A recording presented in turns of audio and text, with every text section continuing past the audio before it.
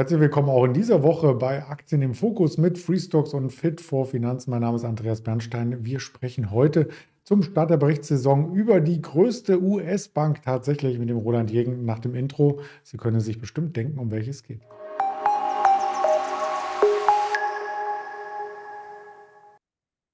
Hallo Roland. Hallo Andreas, schönen guten Tag. Ich habe schon mal mitraten lassen, um welches Unternehmen es wohl geht. Die größte US-Bank, du weißt es sicherlich. Ganz genau. Es geht um die JP Morgan Chase, die größte US-Bank äh, mit einer Bilanzsumme von mehr als 2600 Milliarden US-Dollar. Ist es dann letztendlich auch ähm, eines der größten an einer Börse und äh, notierte Unternehmen eine der drei größten Banken dann auch global. Jetzt haben wir alle Superlative hier mit reingebracht und tatsächlich auch letztes Jahr schon mal drüber gesprochen. Und jetzt ging die Quartalssaison für das erste Quartal in diesem Kalenderjahr bereits am Freitag los. Wir haben die Zahlen vorliegen und das gibt uns den Anlass, hier nochmal tiefer reinzubohren. Um eine Vorstellung der Größenordnung zu bekommen und welchen Abstand auch JP Morgan auf den Zweitplatzierten von der Marktkapitalisierung in den USA hat, haben wir das Ranking mal mitgebracht und das ist tatsächlich äh, ja ein Riesenabstand. Genau, ein Riesenabstand zu der Bank of America, die hier an zweiter Stelle liegt und ähm, die letztendlich äh, drittgrößte US-Bank wäre dann die Wells äh, Fargo. Von daher ist man da schon ähm, mit weitem Abstand, könnte man sagen, ganz klar der Branchenprimus in diesem Bereich. Ja, das ist nicht nur eine Bank, sondern auch eine Investmentbank, mal alles hier zusammengebracht, ähm, ist sie ja auch erst im Jahr 2000 so groß geworden. Da gab es nämlich damals die Chase Manhattan Bank und die JP Morgan und Co. Die fusionierten, dass die Wettbewerbsbehörde das überhaupt zugelassen hatten. Hm, würde uns heute wahrscheinlich überraschen, aber es war damals so. Und letzten Endes macht das Investment und Market Banking 40 Prozent vom Umsatz aus. Und da geht es tatsächlich um Übernahmen, Fusionen, Börsengänge, Investitionen, Kapitalerhöhung, also all das, was eigentlich eigentlich Unternehmen von einem externen Berater erwarten. Genau. Und der zweite große, die zweite große Säule könnte man sagen, ist das Retail Banking, also der Privatkundenbereich mit äh, auch knapp 39 Prozent der Anteile. Und das äh, äh, bezieht sich auf die verschiedensten äh, Finanzdienstleistungsprodukte wie Immobilienkredite, Autokredite, Versicherungen. Und da hat man letztendlich ein sehr, sehr großes Netz über die ganzen USA hinweg äh, gespannt mit mehr als 4.790 Bankagenturen. Mhm. Und dann sozusagen on top kommt noch die Vermögensverwaltung obendrauf, äh, die über 3 Billionen US-Dollar umfasst. Also wenn JP Morgan äh, Chase äh, sagt, ähm, die Aktie ist gefragt oder die stoßen wir ab, das bewegt schon am Markt was.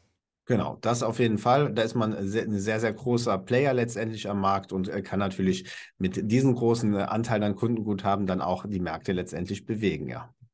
Ja, das verwaltete Vermögen hattest du schon äh, gesagt, äh, die laufenden äh, verwalteten Einnahmen so rum ausgedrückt. Aber es kommt natürlich auch ein Haufen Kredite dazu. Und das ist gerade in Zeiten, wo auch immer mal von Bankenkrise die Rede ist, vielleicht auch das Zünglein an der Waage, gehen wir gleich auch nochmal ein bisschen genauer drauf ein. Zuvor die Umsätze je Region. Und da sieht man, dass auch die Bank in Europa ähm, stark vertreten ist. Und man hatte tatsächlich auch in Frankfurt einen Bürotower gemietet, soweit ich weiß, und ist damit auch bei uns äh, sehr präsent. Genau, circa drei Viertel der Anteile in den äh, USA, in Nordamerika, aber man ist äh, letztendlich da auch schon global aufgestellt und hat sowohl in Europa als auch in Afrika und auch im asiatischen Raum verschiedene Nies äh, Niederlassungen, äh, zum Beispiel hier auch ähm, in, in Deutschland. Ja. Da wir über den Werdegang berichtet haben seit dem Jahr 2000, muss man auch nochmal herauskehren, dass man die beiden Unternehmen nicht äh, verwechseln darf. Also wenn man von JP Morgan Chase spricht oder von JP Morgan, das sind tatsächlich äh, zwei ähm, getrennte Divisionen, kann man so sagen. Ganz genau. Wir sprechen jetzt ja halt um die börsengelistete JP Morgan äh, Chase und ähm, die es halt seit der Fusion in, diesem, ähm, in dieser Form gibt. Und das bezieht sich halt entsprechend auf den gewerblichen Einzelhandel, das Retail Banking und äh, auch für die äh, Kartendienste, die letztendlich die verschiedenen Kartendienste, die man anbietet für den täglichen Verbraucher. Der Herr Morgan hatte damals ein cooles Zitat gebracht, das möchte ich nochmal wiederholen. Wenn man sich fragen muss, wie viel es kostet, dann kann man sich das nicht leisten. Das Thema Konsum ist ja in den USA viel, viel größer geschrieben als in Europa und war ja auch logischerweise ähm, größer geschrieben in der Inflationszeit, weil es auch kaum Zinsen auf Einlagen gab. Das hat sich jetzt ein Stück weit umgekehrt und durch diese Zinserhöhung in den USA seit dem letzten Jahr äh, wurden auch wieder Bankaktien mehr gesucht, weil man für die Einlagen ja auch Geld bekommt.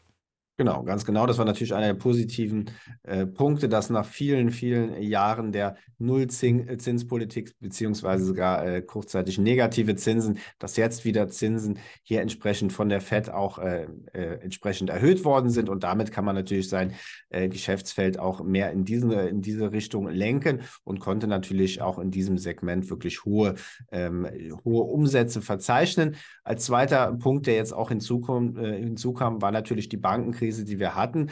Und im Zuge dieser Regionalbankenpleiten, die wir auch hatten, ähm, war es natürlich auch so, dass es jetzt doch zu einer gewissen Konzentration der Einlagen auch von US-Anlegern hin zu den äh, Großbanken gekommen äh, ist. Und dafür äh, ist natürlich einer der Gewinner letztendlich die JP Morgan Chase. Und das wurde auch letztendlich in dem Quartalsbericht klar. Ja, da freut man sich natürlich, dass auch dieser Bereich jetzt äh, wieder wachsen kann. Äh, die Umsätze der Geschäftsbereiche sind hier noch einmal kurz aufgelistet, hatten wir am Anfang ja auch auf der Tonspur schon übergeben. Und ein bisschen Respekt herrschte teilweise schon vor den Quartalszahlen. Man sieht an den Bewegungen in der letzten Woche, die Aktie wollte nicht recht weg vom Fleck kommen und hat dann am Freitag mit einer Art Befreiungsschlag auf die Quartalszahlen äh, reagiert. Plus 7,5 Prozent. Die bringen wir hier auch alle nochmal ins Bild.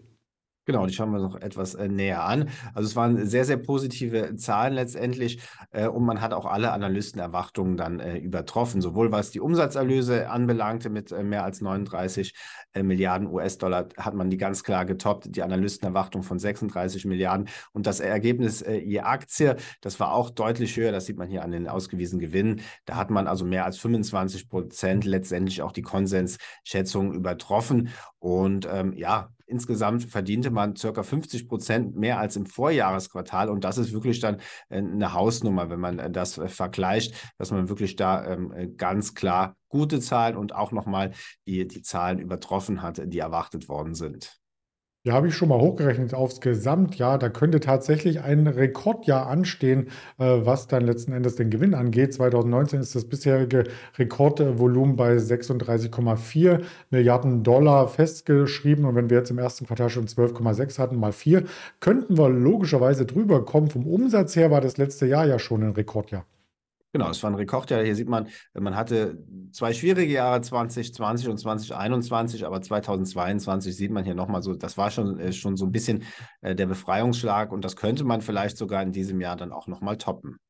Ja, die Analysten sind auf alle Fälle sehr, sehr ähm, milde bis euphorisch gestimmt und da sieht man, dass auch die Banken sich gegenseitig auch immer Ratings äh, geben. Also es gibt von der Wells Fargo hier ein Kaufrating äh, und auch von Morgan Stanley. Beide ähm, sind ja äh, Wettbewerber. Trotzdem kann man sie objektiv beurteilen und wenn man das zusammenzieht als Summe, äh, sind die meisten Analysten weiter für die Aktie positiv gestimmt ähm, und das freut natürlich auch die Anteilseigner. Da kennen wir schon wieder ein paar von. Genau, da sind die bekannten großen institutionellen Anleger mit dabei, eine Vanguard Group, eine BlackRock äh, und so weiter. Also die Bekannten äh, haben hier wirklich alle äh, nennenswerte Anteile auch an der JP Morgan Chase. Ja, wenn es vielleicht mit dem aktuellen Kurs nicht ganz so profitabel ist, dann doch über die Dividenden. Da lassen sich noch Erträge erwirtschaften und die sind in den letzten Jahren stetig angestiegen. Man kann fast schon sagen, JP Morgan Chase ist ein, ein Dividendenaristokrat. Ja, das sieht auch positiv aus. Die Dividenden sind immer weiter angewachsen und äh, auch der Ausblick man ähm, könnte darauf hindeuten, dass das in Zukunft ganz genauso äh, der Fall ist. Auch der CEO Jamie Dimon hat ja ähm, sehr erfreuliche Dinge da noch berichtet am Freitag, auch gemeint, die US-Wirtschaft, die steht auch weiterhin auf gesunden Füßen und dass die Verbraucher auch weiterhin Geld ausgeben und ähm, die Unternehmen relativ starke Bilanzen haben und dass man jedoch auch die Turbulenzen in der Bankenbranche ähm, beobachtet hat und äh, entsprechend äh, da auch die, äh, die äh, Risiken ähm, richtig bewertet und Rückstellungen macht. Aber insgesamt hat er wirklich äh, sehr positiv da auch letztendlich in dieser Pressekonferenz äh, berichtet. Die Rückstellung ging tatsächlich nach oben äh, mehr als verdoppelt, hatten sie sich auf 2,3 Milliarden. Aber vielleicht ist damit auch äh, schon das Schlimmste ausgestanden. Wir schauen mal auf das Chartbild mit dem Freestocks-Tool, was es für Unterstützung und Widerstände gibt. Genau, schauen wir uns die Aktie hier etwas näher an. Zunächst im großen Bild im, äh, im Wochenchart sieht man, dass die Aktie im letzten Jahr natürlich auch ähm, stark zurückgekommen ist, von den Hochs bei 172 Dollar bis im Tief dann ähm, in dem Bereich der 100-Dollar-Marke. Und wenn man dann etwas reinzoomt und sich die Aktie im Tageschart anschaut, sieht man seit den Tiefs äh, im Oktober des letzten Jahres der starke Aufwärtsimpuls. Der Rücksetzer hier in dem Bereich des 200-Tage-Durchschnitts bei ca. 125 Dollar. Und ich denke, seit wir diesen Bereich getestet haben, hier am 24.03., ähm, hat man wirklich schon diesen Aufwärtsimpuls gesehen, die Seitwärtskonsolidierung über einige Tage. Und jetzt gelang quasi mit den Quartalszahlen, mit diesem großen Aufwärtsgap, der nächste Aufwärtsimpuls und man hat direkt auch den 50 und 100 Tage äh, Durchschnitt überschreiten können. Und jetzt ist eigentlich der Weg frei hin zum Jahreshoch bei circa 144 Dollar. Und da muss man mal schauen, ob dort wieder etwas äh, Druck auch äh, reinkommt und vielleicht hier auch Gewinnmitnahmen einsetzen. Ansonsten sollte auch dieser nächste Widerstandsbereich überwunden werden, äh, kann man wieder etwas rauszoomen und auch nach deutlich höheren Kursniveaus hier Ausschau halten. Der nächste markante Bereich wäre dann bei circa 157 bis 159 Dollar und könnte ein potenzielles Ziel auf der Oberseite hier darstellen. Und da ist der Primus, äh, letzten Endes der Primus, wollte ich sagen, der Primus im Bankensegment ist, ähm, sollte er bei einem breit diversifizierten äh, Portfolio auf alle Fälle auch mitgewichtet werden. Ob das jetzt JP Morgan Chase ist oder vielleicht auch eine Goldman Sachs. Wir schauen uns ja mehrere Unternehmen aus dem Sektor an. Müssen Sie letzten Endes selber entscheiden, aber wir wollten es mal mit vorgestellt haben.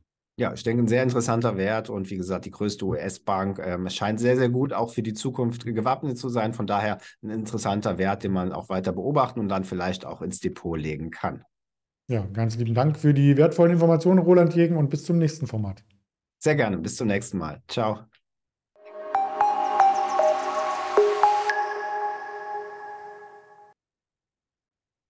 Herzlich willkommen bei Aktien im Fokus. Heute mit einem Hammer an Quartalszahlen, nämlich diejenigen, die nicht nur im Internet uns zuschauen oder auf anderen Kanälen zuschauen, die kennen sicherlich auch Netflix. Das soll heute das Thema sein, zusammen mit dem Roland Jägen, direkt nach dem Intro.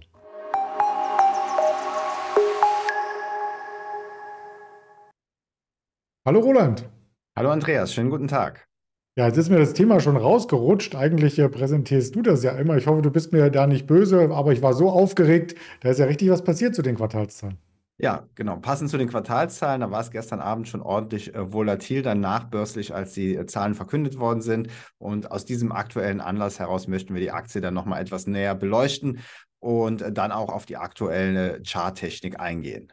Ja, sehr gerne. Noch einmal ist auch das richtige Wort, denn wir haben tatsächlich äh, eine solche große Aktie, die so breit im Interesse unseres Publikums äh, steht, hier schon öfters mal erörtert und immer von einer anderen Ansatzseite. Also das letzte Mal ging es tatsächlich darum, was sind die erfolgreichsten Serien und Filme. Also gern mal hier ins Archiv reinschauen und damit habe ich auch schon verraten, Serien, Filme, das ist so das Hauptgeschäftsfeld von Netflix.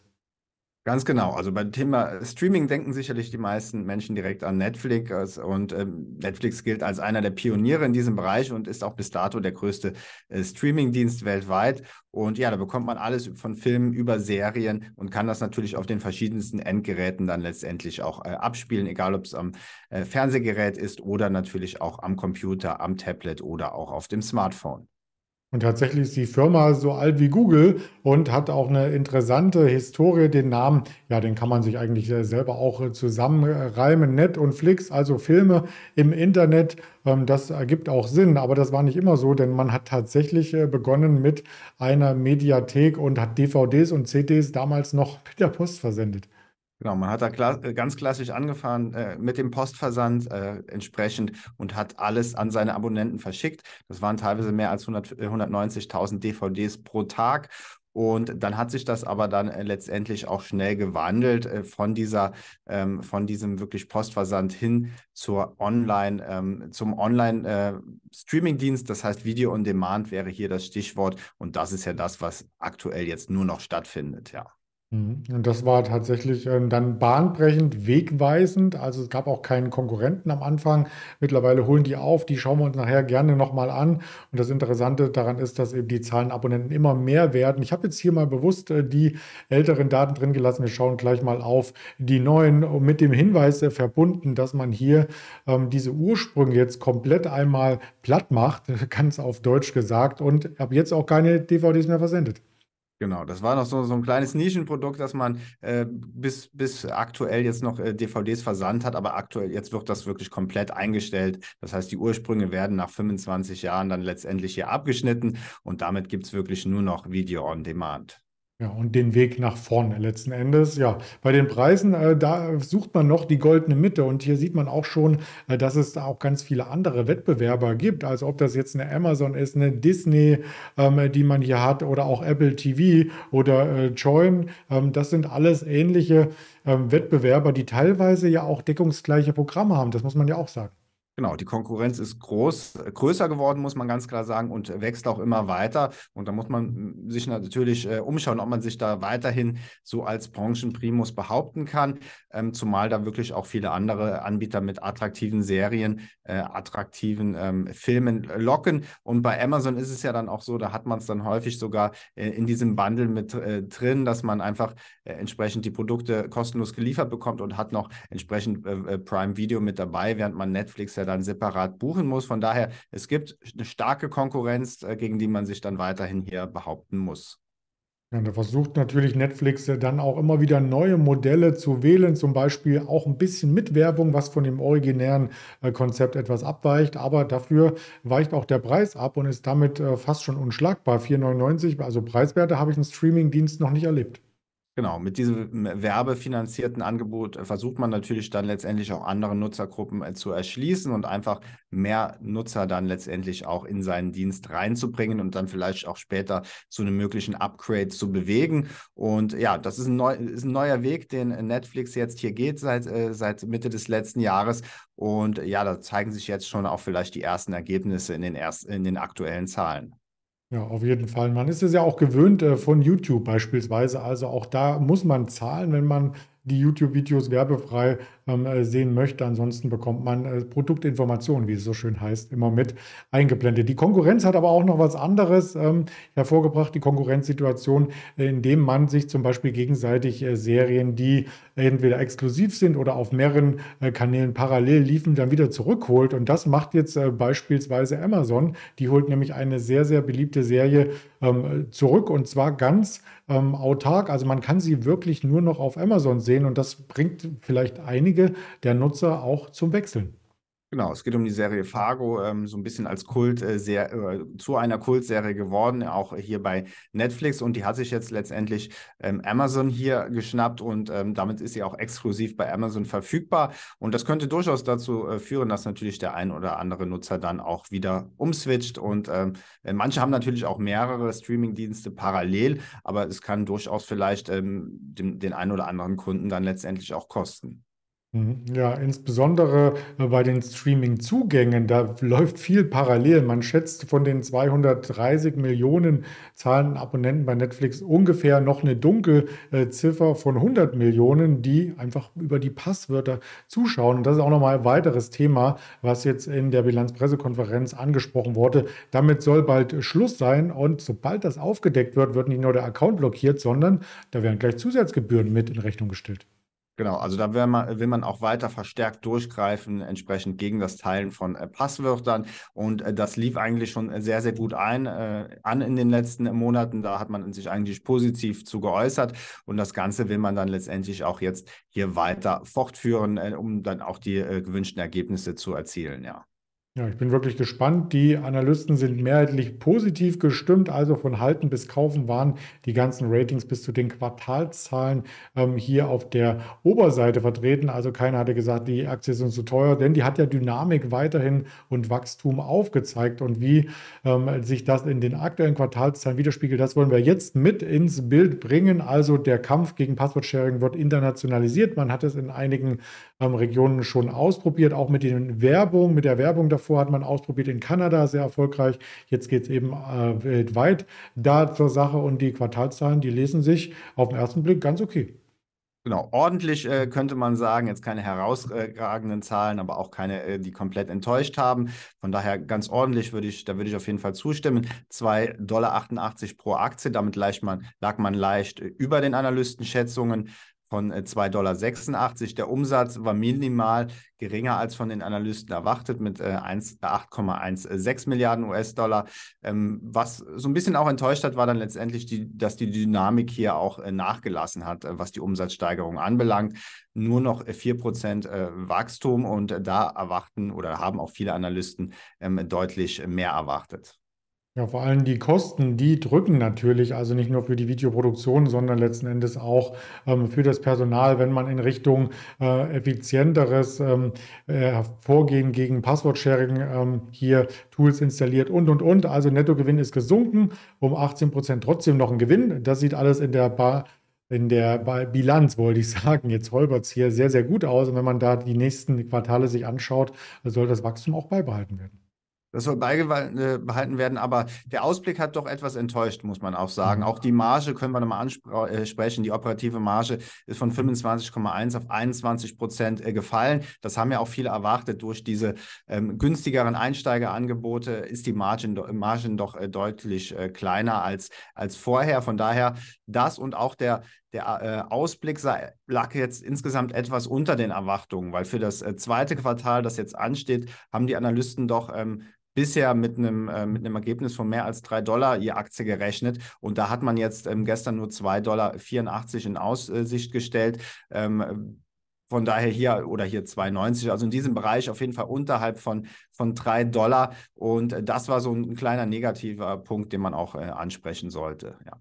Ja, und das war auch das Erste, was ins Auge fiel, äh, dass quasi der Ausblick ein Stück weit nach unten revidiert wurde und hat die Aktie um 10% zurückgeworfen. Aber das konnte dann nachbörslich auch wieder aufgeholt werden. Das sieht so ein bisschen aus wie eine Fat Finger Order. Ich hatte mich auch erschrocken, als die Zahlen äh, kamen. Die kamen direkt nach 22 Uhr. Aber lass uns mal bei dem Positiven bleiben, bevor wir noch in die Aktienanalyse reingehen. Äh, Netflix wächst in allen Regionen und ist in über 100 Ländern vertreten. Also insofern sehr breit aufgestellt.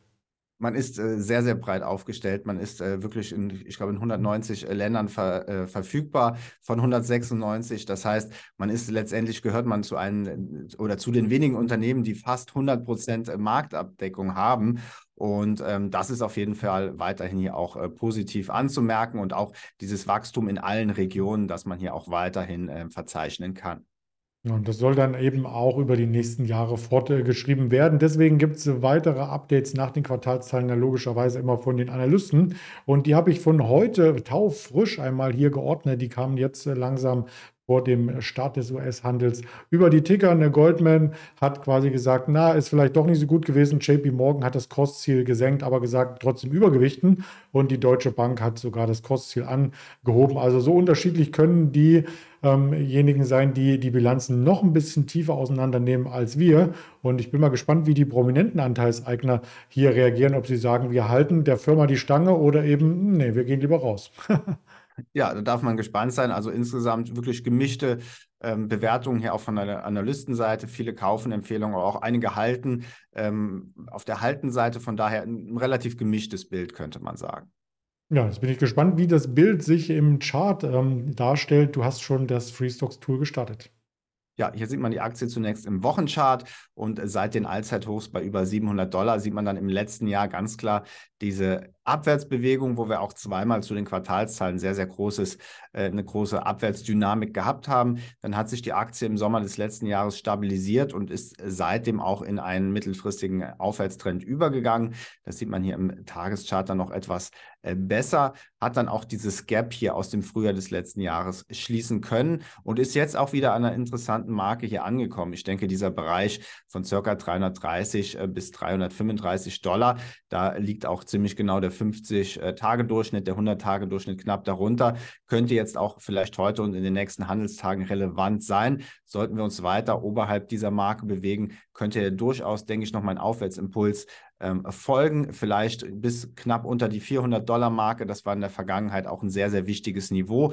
Von daher sind da durchaus auch neue Jahreshochs im Bereich des Möglichen bei einer positiven Reaktion.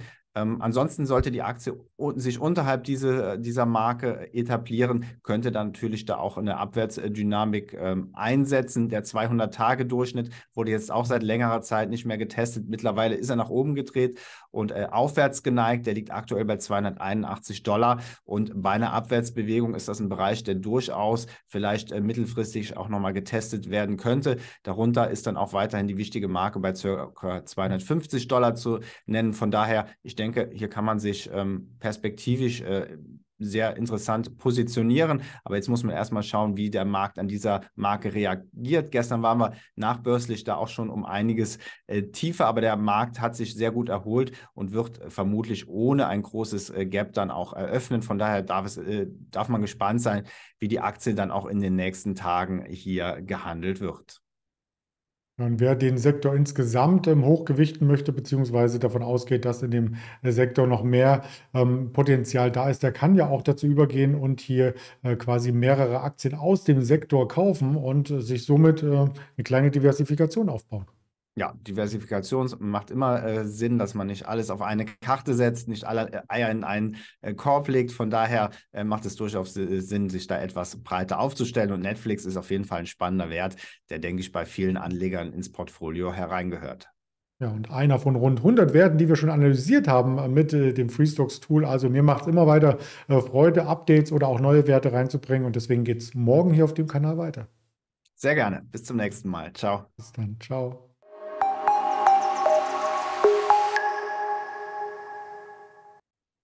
Herzlich willkommen bei Aktien im Fokus heute am Donnerstag. Wir haben den 20. April 2023 und endlich die Tesla-Quartalszahlen auf dem Tisch liegen. Das soll das Thema heute sein. Jetzt habe ich es schon verraten. Nach dem Intro gibt es die Infos.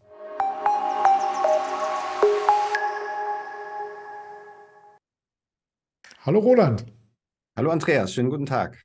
Ja, auch heute können wir wieder eine Aktie besprechen, die aktuell mit Quartalszahlen nicht nur für Aufsehen am Markt, erregt, äh, das Aufsehen erregt, sondern auch ähm, im Aktienkurs wieder ordentlich Volatilität zeigt. Und sowas lieben wir ja im Trading. Genau, ganz genau. Die Quartalsaison, die nähert sich so, so langsam dem Höhepunkt. Diese Woche haben wir ja schon die Netflix gehabt, jetzt die Tesla. Und äh, die hat sich auch gestern nachbörslich ordentlich bewegt. Das sehen wir gleich auch im Chartverlauf. Aber zunächst einmal auf einige Fakten und dann auch im Detail auf die Quartalszahlen. Ja, das Unternehmen an sich müssen wir nicht so detailliert vorstellen. Erstens gibt es in der Playlist schon ein paar Videos dazu aus der Vergangenheit und zum anderen weiß, glaube ich, jeder, äh, was Tesla macht, wer der Chef ist und sowas. Das ist ja sogar im Kreuzworträtsel manchmal eine Frage. Also Tesla entwickelt, äh, baut und verkauft Elektrofahrzeuge, so kann man zusammenfassen. Genau, ist sicherlich jedem äh, bekannt. Äh, Ende 2022 gab es fünf Produktionsstandorte in den Vereinigten Staaten, einen in China und einen in Deutschland, kennt sicherlich auch jeder. Und ähm, man ist ja jetzt auch aktu äh, aktuell dabei, noch Batteriewerke letztendlich aufzubauen, große Batteriewerke, unter anderem auch eins in äh, China. Und ähm, das heißt, man versucht hier auch immer weiter zu expandieren und letztendlich dann auch seine Umsatzerlöse auszubauen. Und wie sich die verzeilen, sieht man hier auch aufgelistet, circa die Hälfte. Ähm, wird in den USA entsprechend hier umgesetzt und dann 22 Prozent fallen auf China und dann ähm, das, der Rest dann auf Europa, ähm, den Rest von Asien und den südamerikanischen Raum. Ja, es freut einen natürlich immer zu hören, dass der Heimatmarkt der wichtigste Markt ist. Also so ein bisschen, ähm, ähm, ja, wie sagt man, Patriotismus. Und das zeigen aber auch die Wachstumsraten, weil nämlich man in Amerika am stärksten wächst. Genau, da wächst man auch am stärksten. Hier sieht man es zum Beispiel von 21 auf 22 Prozent, mehr, knappe 70 Prozent Steigerung. Das ist schon eine Hausnummer. Von daher, man hat in den letzten Jahren sehr, sehr starkes Wachstum gehabt. Das scheint jetzt aktuell, das sehen wir auch gleich in den Zahlen, so ein bisschen gebremst zu sein. Also die, diese Dynamik hat auf jeden Fall schon nachgelassen in den letzten Quartalen. Und ja, da muss man mal schauen, wie es dann perspektivisch auch weitergeht. Rekorde war man äh, gewöhnt von Tesla auf jeden Fall. Ob das nun ähm, bei der Gewinnseite durch Klimazertifikate entstanden ist oder durch die Autoverkäufe, das sei mal dahingestellt. Das hat sich auch im Laufe der letzten Jahre äh, stark gewandelt. Wir sind mit einem richtigen tollen Schwung aus dem letzten Jahr hervorgegangen, auch in Deutschland. Rekordverkäufe und Rekordgewinne letzten Endes. Ähm, doch von den Prognosen, die ja dann auch immer ein Stück weit höher geschraubt werden, äh, kommt man jetzt ab. Und Elon Musk hat es ja eigentlich schon im Januar gesagt, ähm, dass er so ein bisschen warnt, dass es so nicht weitergehen kann.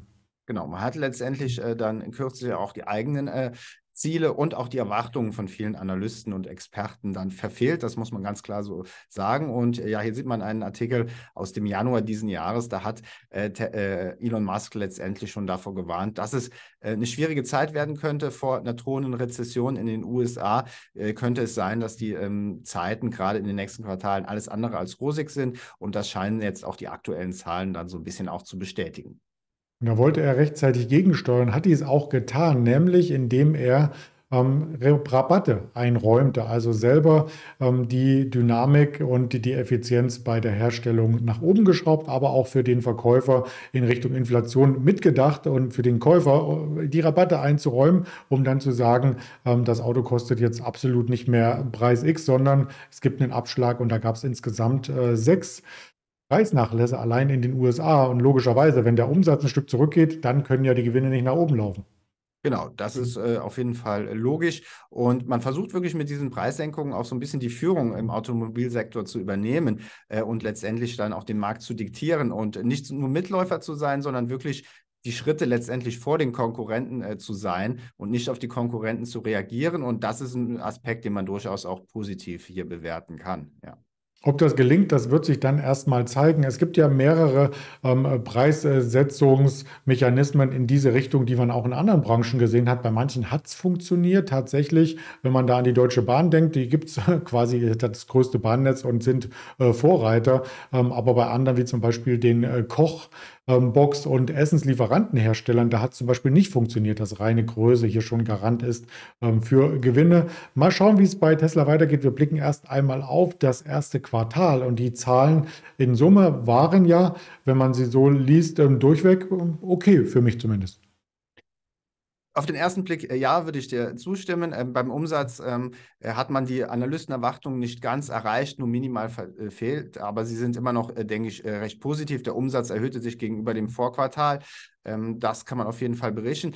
Beim äh, Gewinn ist es auch so, der Bruttogewinn ähm, lag bei 5,46 Milliarden ähm, Dollar im Vorjahresquartal und ist jetzt gesunken auf 4,5 Milliarden. Das heißt, hier sieht man auf jeden Fall, dass sich das äh, Ergebnis verschlechtert hat. Was am meisten, denke ich, äh, letztendlich hier auch äh, viele negativ ähm, hat aufforschen lassen, war die Bruttomarge. Die lag im Vorjahresquartal noch über 29 Prozent. Da hatte ähm, der, ähm, ich glaube, es war der Finanzchef äh, Zachary Kirkon schon Anfang des Jahres gesagt, man, man möchte die Margen äh, bei über 20 Prozent halten und das ist letztendlich nicht gelungen. Also die, die ähm, Bruttomarge lag jetzt nur noch bei 19,3 Prozent, also über 10 Prozent weniger als im Vorjahresquartal. Und ich denke, das war doch ähm, die negativste News oder die die Anleger auch am, äh, letztendlich hier negativ aufgefasst haben.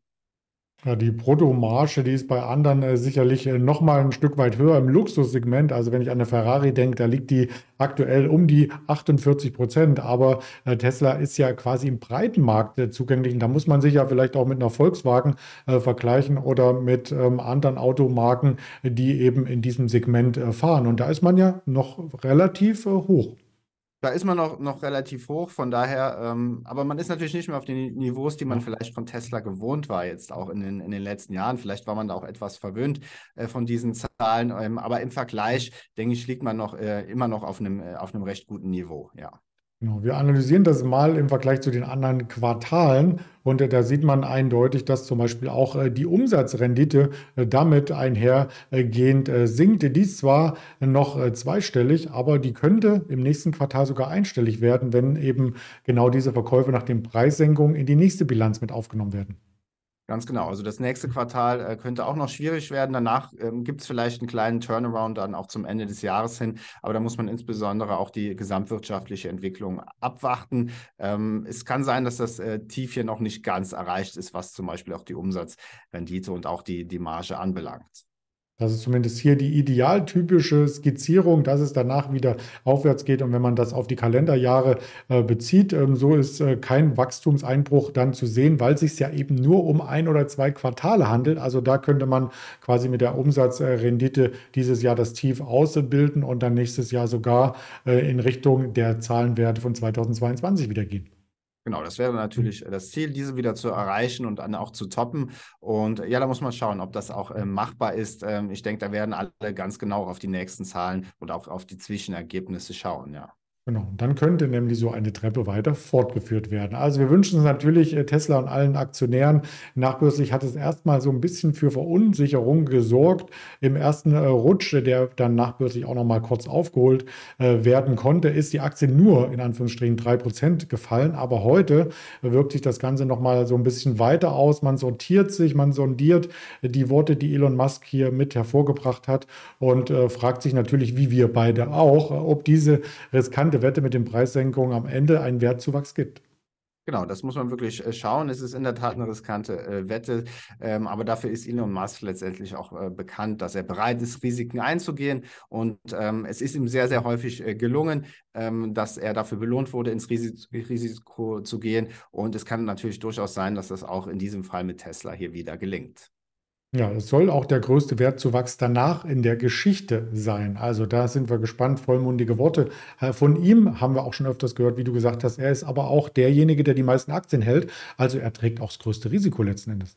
Ganz genau. Also er ist bei weitem noch der größte Anteilseigner vor diesen großen institutionellen Anlegern, der Vanguard Group oder BlackRock äh, und so weiter. Auch alle namhaften sind hier natürlich wieder mit im Boot, aber er hält mit 13 Prozent natürlich weiterhin hier einen sehr, sehr großen Anteil und ist weiterhin hier auch der Verantwortliche. Ja. Ja, und damit ist er auch einer der fünf reichsten Menschen der Welt und hat mit äh, Tesla so einen Marktwert geschaffen, wenn man das mal mit anderen Elektroautobauern, äh, also alternativen Fahrzeugen, wie es so schön heißt, vergleicht, ist das ein Riesenabstand und die Performance war in diesem Jahr ja auch schon toll. Deswegen ist die Frage, ist dann noch äh, viel Speck an den Rippen oder Platz für Korrekturen oder ähm, eben nicht? Und das wirst du uns gleich mit dem Readstocks-Tool versuchen zu erörtern. Genau, schauen wir uns die Aktie hier im Freestocks Webtrader einmal etwas näher an. Zunächst im Wochenchart, ähm, dann sieht man äh, seit den Hochs bei 414 Dollar ist die Aktie übergegangen in einen äh, Abwärtstrend, in einen mittel, äh, mittelfristigen Abwärtstrend. Und da ist sie auch weiter ähm, in diesem Abwärtstrend. Und im Tageschart sieht man das Ganze dann noch etwas äh, genauer. Ähm, man ist mehrmals hier auch an den gleitenden Durchschnitten nach unten abgeprallt. Und nach der großen Erholungsrallye, die ziemlich genau zu Beginn des Jahres dann gestartet ist, ist man jetzt in eine Seitwärtskonsolidierungsrange übergegangen und ähm, man hat es nicht ganz geschafft, den 200-Tage-Durchschnitt hier zu erreichen und diesen wichtigen Widerstandsbereich in den letzten Wochen bei ca. 215 Dollar ist jetzt wieder nach unten abgeprallt und jetzt sieht man schon ähm, das Gap, das jetzt aufgrund der nachbörslichen Zahlen hier auch entstehen wird vermutlich. Und damit ist man auch wieder einem, an einem signifikanten, äh, markanten Punkt hier angekommen. Ich denke, dieser Bereich von ca. 165 bis 170 Dollar ist eine potenzielle Unterstützung. Man sieht es hier schon ähm, im März, Mitte März ist der Markt hier in diesem Bereich schon mal stark nochmal nach oben ähm, gelaufen. Es war auch ein Tief aus, äh, aus der Vergangenheit, aus dem Ende des letzten Jahres. Von daher ein, ein interessanter Bereich. Jetzt wird, muss sich zeigen, ob hier wieder Kaufinteressen ähm, geweckt werden und der äh, Kurs nach oben tendieren kann. Ansonsten darunter, da könnte auch die Dynamik auf der Unterseite sich nochmal beschleunigen. Da gibt es relativ wenig Unterstützungsbereiche. Hier ist auch noch ein größeres Gap offen äh, aus dem Januar diesen Jahres. Von daher, ich denke, wenn man unter diese 165 beziehungsweise 163 Dollar Marke fällt, da könnte wirklich die Dynamik auf der Unterseite hier einsetzen. Von daher ein interessanter Bereich. Wenn man hier einsteigen möchte, denke ich, kann man das auch sehr eng hier absichern mit einem Stop. Ansonsten kann man vielleicht auch noch warten, bis man eine Umkehr sieht und vielleicht äh, tendiert äh, die Aktie natürlich hier auch noch etwas tiefer, äh, bevor sie dann eine Trendwende einleitet, weil wir sind weiterhin im Abwärtstrend, das muss man sagen. Die Aktie versucht sich zu stabilisieren und da muss man schauen, ob das ihr in diesem Bereich gelingt. Ja, das werden wir auf alle Fälle dann auch äh, zum nächsten Quartalszahlen vielleicht nochmal genauer ins äh, Blickfeld rücken oder in anderen Formaten. Ich sage schon mal ganz lieben Dank für die vielen Inspirationen, Roland Jegen, und auf bald. Sehr gerne. Bis zum nächsten Mal. Ciao.